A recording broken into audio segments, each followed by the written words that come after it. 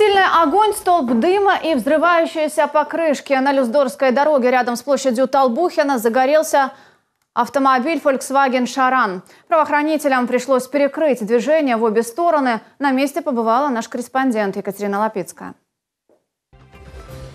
Иномарка Volkswagen Шаран загорелась за считанные минуты. Проезжавшие мимо патрульные полицейские пытались вместе с другими водителями помочь, но автомобильные огнетушители оказались бессильны.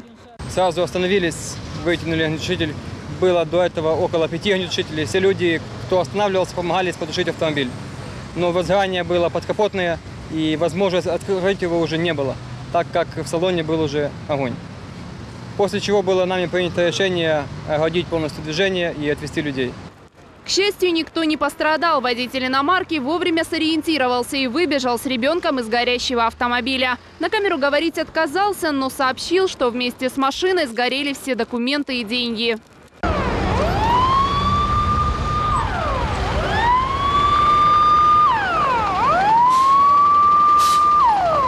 Пожарные довольно быстро справились с огнем. Сложнее было добраться через образовавшуюся пробку. Предварительная причина, со слов водителя автомобиля, машина загорелась под в моторном отсеке.